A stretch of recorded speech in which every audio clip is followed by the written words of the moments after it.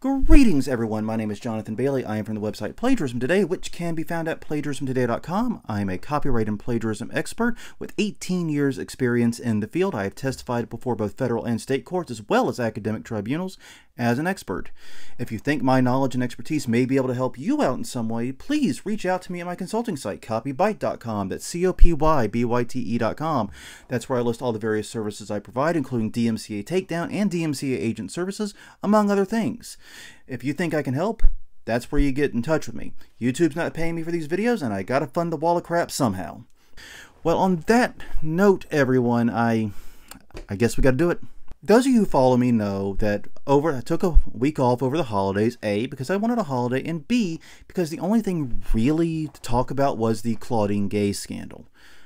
And yeah, I really didn't want to talk about it. A, I, I felt like I'd said everything about it that I could. I've writ- by that point I'd written three articles on it. Um, I'd been all over the news media, including an appearance on CNN and in multiple papers like the Boston Globe. Um, I felt like I'd really said my piece on it, and I didn't have that much to add. However, there have been a lot of developments in this past week, so we do need to talk about it. Now, the other reason I didn't want to talk about it was because I know that this is a very, very politically charged scandal. And I know a lot of people who'll be viewing this, especially those who aren't my regular subscribers, are coming here with a predetermined outcome that they think is acceptable. And they're probably going to want me to say something definitive like person X good, person Y bad. I'm not going to do that. These are nuanced and complicated issues, and trying to simplify them into something that's a binary choice doesn't really work. And that's especially true now that there's been sort of a follow up to it, I guess, in a weird way, with Neri Oxman, the wife of Bill Ackman, one of Claudine Gay's biggest critics. We'll come to that in a minute, but yeah, I know this is politically charged. I know a lot of people are coming here with preconceived notions, and I know probably none of them are going to be very happy with me by the time this is over. So, if that's you, if I just described your situation, please click off the video. I don't need my comment sections to be made more interesting right now. On that note, I would indeed like to talk about the scandal, but we're going to do it from a slightly different angle. We're going to talk about it from my perspective which is a little bit different and a little bit weird because I'm not directly involved in this. However, for me, the Claudine Gay scandal is not one week old, it's not one month old. I actually first heard her name and knew about these allegations on November 5th or November 6th, um, basically a month before they, over a month before they became public. The reason for that was I was reached out to by a reporter who gave me the evidence of plagiarism, the first round of evidence against her, that's all that existed at the time, and asked me to do an evaluation of it. And I did. There were 22 allegations in that, and of them, I felt like two were definitely very problematic and required some kind of some kind of response, probably even a strong response. Two more were a bit on the fence, and the rest were weak. They were just too short to be evidence of copying. It could be a coincidence. It could be that's the only way to say that or there was something else going on with it where it just didn't prove copying. It's a difficult art trying to prove that something was copied from one source to another. It's a very difficult task, and a lot of the allegations just didn't hold water, but there were still serious ones to look at and examine. And those were my findings. Now, the issue with Claudine Gay's work, for the most part, has been that even though she cited her sources, she never cite, she in many cases did not cite when she was using verbatim passages from. And this is a very serious problem. As an academic, as a researcher, you have an obligation not just to cite the facts and information that you use, but the words that you use. There's two elements there facts and words. And the in text citations cover the citation of the facts, but you need to put things in quotes or block quotes or something to indicate that this passage is verbatim. And at least over the course of the entire scandal, there were between 6 and 12 passages that definitely should have been quoted. Now, when I first heard about it and I had my back and forth with this reporter, I said something very similar to what I've been saying all along, which is Harvard needs to do a very thorough investigation into Gay's work. It needs to be independent, meaning someone outside the organization needs to be brought in. It needs to be transparent, and it needs to be done expediently. Well, and this is where I think Harvard really screwed up is they did not do that analysis. By all accounts, they did not actually do any additional checking into Gay's work, which A is a violation of their own policies, I've come to understand. They were supposed to dig deeper, but didn't, uh, for reasons unclear. And for a second, it just ensured that they were caught off guard when the second round and the third round of scandals happened. But anyways, I heard about it on the 5th, did my analysis, did my back and forth with the reporter, and it seemed like the story had died. And this is not uncommon in my line of work. I get contacted by reporters all the time. Hey, so and so has allegations of plagiarism. Well, you look at it. I look at it, and maybe I find something, maybe I don't, but we go back and forth, and the story just kind of dies on the vine. It happens. I've probably worked on twice as many stories that didn't get published as I have that did. So it really wasn't unexpected or that shocking to me.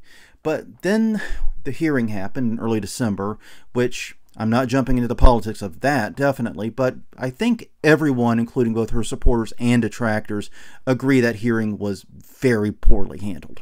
So I think we can all just kind of agree on that.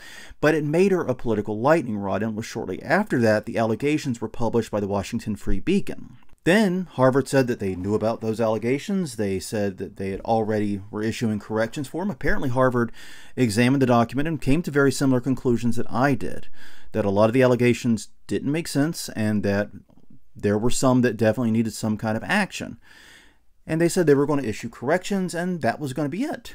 But then, because they didn't do the investigation that they should have done, they were caught flat footed by a second and then a third round of allegations. And that kept the plagiarism allegations in the spotlight for much longer than they should have been. I'm not saying Claudine Gay would still have her job if Harvard had done their due diligence here. I don't know.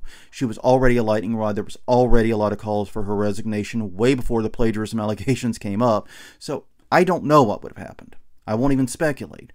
But I know that they, things would have been better if they had gotten ahead of this and found these other issues out before they were published, you know, in the media. Instead, they were caught flat-footed because they didn't do their due diligence, and that kept the scandal going. It lasted for functionally a month. And earlier this week, she resigned, and I think she didn't have a choice in that matter. Now, to be clear, I don't think she's being treated like a regular researcher in this capacity. I'm not saying what Claudine Gay did is good. It's definitely plagiarism. It is definitely problematic, and it definitely warrants an investigation, like I said. But we're talking about 6 to 12 passages over the course of her career, and in most cases, she did cite the source, she just did not indicate that she was using language verbatim. This is a type of plagiarism that's more, more common with sloppy writing or bad writing practices than it is with a malicious intent. Simply put. However, since Claudine Gay is, or rather was, the president of Harvard and was a politically controversial figure, she was getting additional scrutiny, and as the scandal kept dragging out, it was nothing but a distraction and a problem for both her and for Harvard. Resigning was maybe not right or wrong thing to do, but probably the only thing that she could do. And so now she's going back to her position as a faculty, and they've appointed an interim president for the meantime. All in all, it's an interesting story because, like I said, if she were any other researcher, I would not expect her to be punished as harshly. I wouldn't expect it to rise to the level of termination. Not on what is known today. Like I said, we still haven't had a full accounting of it, and that does bother me. But from what we know today, I would genuinely expect a researcher to a, be forced to correct the record, obviously, and B, probably have some other punishment, maybe take a remedial class in research writing, or maybe be suspended from doing research until all the corrections are in place, or for a designated period of time. I, termination for this type of plagiarism would be rare by its if it's the only issue of course if the science has somehow been marred by it or if there are more serious issues, or if there's a lot more examples of this in their work, then yeah, maybe termination then. But from what we had today, I honestly don't think I would expect to see a researcher be fired. Now, that said, I'm not dismissing the severity of what happened. These are serious issues, and they do, like I said, warrant a response. And Harvard really did drop the ball when it comes to performing the analysis and doing their due diligence. So there's a lot of blame to go around here. But what I've been most worried about and what seems to be definitely coming to fruition is the weaponization of plagiarism. Like I said, these allegations were known to reporters over a month before they were made public. And they were only made public after she became such a big political lightning rod following that, that testimony. The plagiarism allegations weren't seen as interesting enough to release or cover until she became, you know, like I said, a lightning rod after that after that hearing. Rough. It's the weaponization of plagiarism. And now we've seen another example of it in the Neri Oxman. Neri Oxman apparently had very similar issues of plagiarism in her dissertation. Now, right now, there have been two rounds of accusations, both from Business Insider. The first one accuses her of doing very, very much things like Claudine Gay is accused of doing, where she cites the sources but didn't indicate that something was quoted. Claudine Gay did something very similar in her work. But the second round is the more worrisome as they found evidence of copying from Wikipedia and other sources that were not cited at all in the dissertation. That is significantly more problematic and once again, I'm going to repeat myself. I think what should happen is there should be a very thorough investigation of the dissertation and other academic work that, that Oxman has done. It should be done by an independent party. It should be done transparently and basically it should be done expediently. Will that happen? I don't know. Because it seems like right now people are only checking for plagiarism in the works of people that they want to get dirt on. And that is incredibly frustrating as someone who does have a genuine interest in research and academic integrity.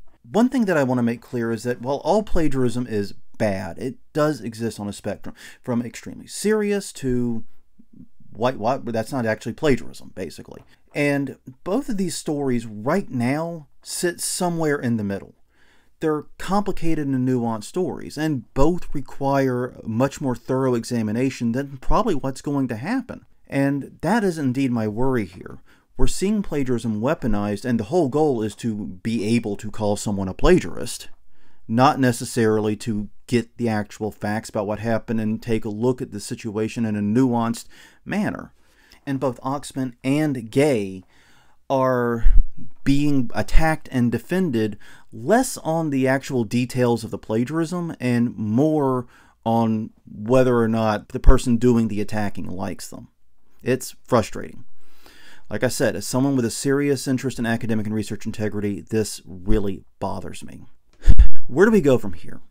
Well, Bill Ackman um, Oxman's husband, has basically decried this as an attack on his family and has said that now he's going to escalate the weaponization of plagiarism by literally checking everyone at MIT, every faculty member and, and various board members in that, which they weren't actually involved in the allegations against Oxman. In fact, to my knowledge, they only became aware of it super recently. It was Business Insider that was actually responsible for the allegations. So this represents a further escal escalation in the weaponization of plagiarism. And the problem I have with that is simple. Doing a plagiarism check, a proper, real plagiarism check, takes a lot of time. Yeah, it's only a few minutes to generate that iThenticate report or the PlagScan report or the whatever you're using report. Only takes a few minutes. I get that. But going through that report, weeding out the things that don't indicate plagiarism, and getting to the actual core of the matter, that can take a lot of hours. And the reason is very simple. Plagiarism detection services don't actually detect plagiarism. They detect similar text. They don't even necessarily detect copy text. Even if the text is original but it's the same to someone else's work, it will show up. And so the job of the human doing the analysis is to go through, filter out what is a non issue, find what is an issue, expand on those, uh, sort of get to the core of it, and then generate findings based upon that. It's a lengthy process and it's one and I routinely have people balk at my estimates because they don't realize how many hours an analysis, especially on something the length of a dissertation, how long that takes. If you're doing it to actually get information and to make a real determination, it's a lengthy process. The concern I have is that we're not going to see people putting in that kind of work they're coming in with a very clear goal to find someone out as a plagiarist. And they're going to maybe not do as thorough of a job in filtering. They're maybe not going to examine the evidence as closely as they should. And that's a very concerning issue because the more and more times people are called plagiarists, when they're not really one, or when the issue is relatively minor, or when people are trying to take a relatively small issue and make it bigger, is that it devalues the severity of plagiarism overall. It hurts people like me who are doing actual work and trying to improve academic and research integrity because at some point it becomes the boy who cried wolf. And to be clear, this is not something tethered to one political ideology or another. Political plagiarism scandals go back, well, probably as long as there have been politics and plagiarism, but definitely they've been a major force for the past 25 years or so. I mean, I've personally have reported on stories involving Barack Obama, John McCain, Donald Trump, um, Melania Trump as well. Uh, basically, a ton of political figures all sides of the aisle have been accused of plagiarism, sometimes with good reason, sometimes with less good reason. Usually it's a tempest in a teapot situation. But either way, we're going to be seeing a lot more of that. So if your interest genuinely is plagiarism, I encourage you to not just trust any reporting about person X or person Y being a plagiarist. Instead, look at the evidence look at what's presented and make a decision for yourself. On that note, everyone, I thank you very much for spending this time with me. I really do hope that this was helpful in some way and that the comments in this don't get too ugly. Until next time, this is Jonathan Bailey, signing off.